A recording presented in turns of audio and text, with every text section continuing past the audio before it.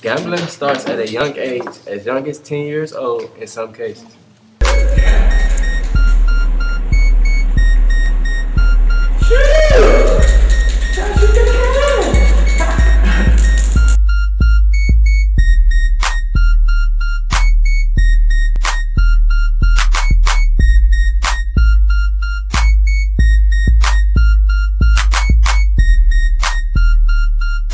Gambling is not all fun and games. It's a serious matter.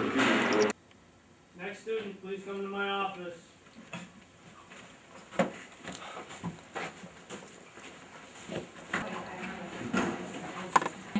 These off, this keeps up. Yeah. So you guys understand what I'm talking about? Yeah, So you're not supposed to play dice in school. You know, we have it all on camera. If any of this happens again, you're gonna be spending a lot of time at home.